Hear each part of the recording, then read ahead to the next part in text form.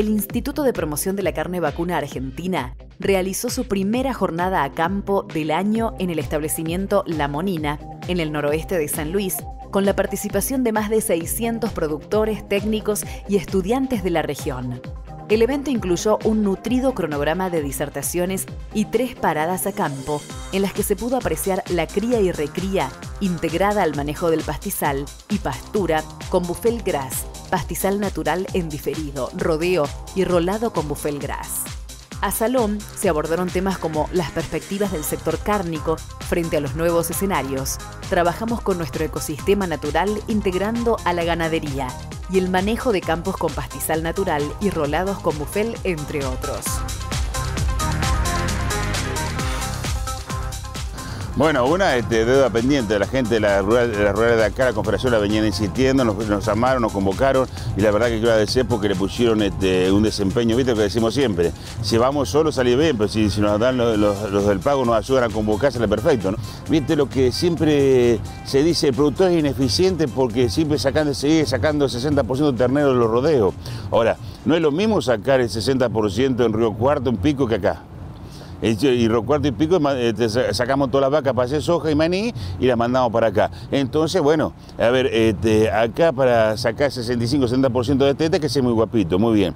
Y resulta como en la cuenca salada para sacar 60% hay que ser inútil. Entonces, este, muchachos, tengamos en cuenta a dónde amontonamos la vaca. Por eso digo, somos tan ineficientes cuántos kilos de carne producimos por hectárea más que hace 20 años. No estamos siempre igual.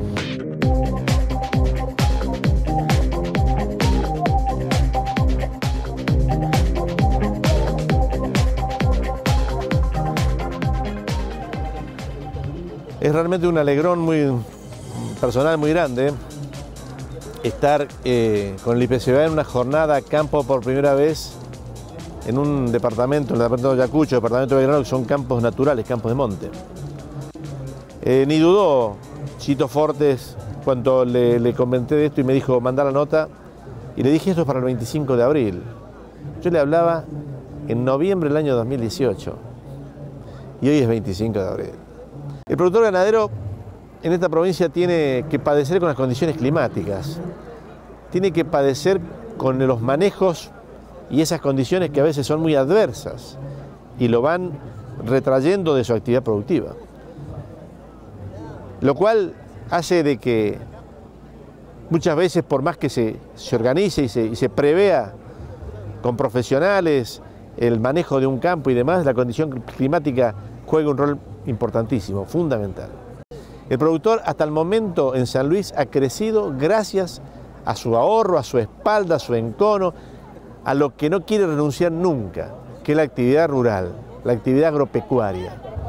Y no tiene otra cosa para hacer.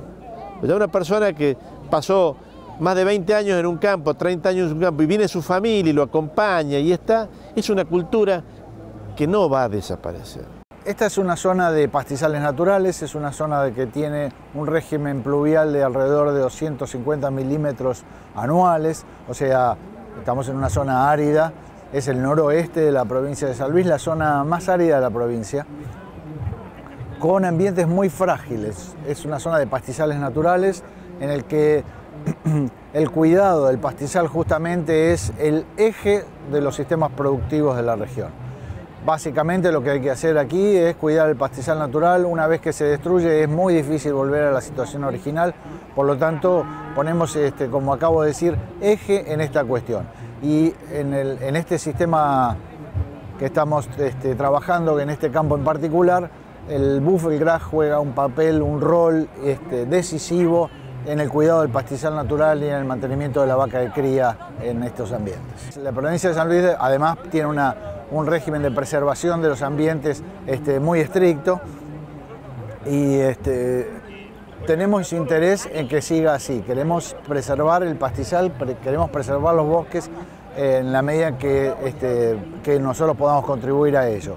De todas maneras está fuera del eje del, Instituto Nacional de Tecnología Agropecuaria. Nosotros nos dedicamos mm, a la producción y no, no en el sentido de que lo están planteando. Pero de todas maneras, el cuidado del pastizal para nosotros es lo esencial y en eso estamos trabajando.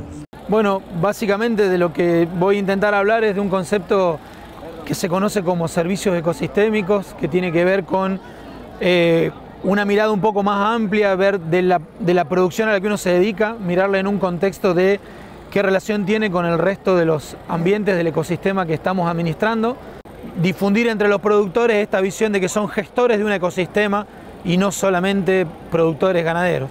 Ha ido creciendo en el tiempo la preocupación y el acceso a información del consumidor sobre la forma en la que se producen los alimentos que consume y eso hoy, hoy lo veíamos en las charlas que ya pasaron, digamos, el, acompañado de la, del acceso tecnológico le ha dado una, facilidad de acceso a la información enorme. Hoy cualquiera con un poquito de conocimiento puede analizarte las imágenes satelitales y sacarte el historial de tratamiento que hiciste en tu campo, sin, sin pisar siquiera tu campo. Entonces hay un acceso a información de los consumidores enorme y si no consideramos estas cosas podemos poner en riesgo a la actividad y la imagen de la actividad.